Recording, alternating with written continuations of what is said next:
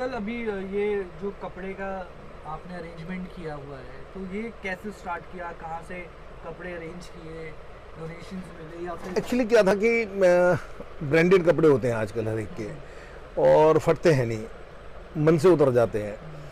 तो हम लोगों के टाइम में तो चलो बर्तन मिल जाते थे, या हम लोग शर्म नहीं करते थे, अपने छोटे हुए हैं तो किसी को दे दिए।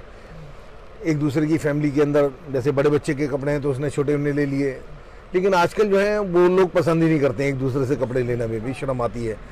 तो अब उन कपड़ों का क्या करा जाए? तो मेट्स वगैरह को देते हैं। अब मेट्स का भी ये हिसाब है कि ले तो लेते हैं हो सकता है उनको ना पसंद आता हो। तो फिर ये कंसेप्ट निकाला कि नहीं, हम लोग एक चॉइस देने की कोशिश करें। क्योंकि आप लोग कहते हैं बैगर्स हैज़ नो चॉइस तो हमने एक शोरूम सा बनाया कि यहाँ पर उन लोगों को चॉइस दी जाए जो ज़रूरतमंद है।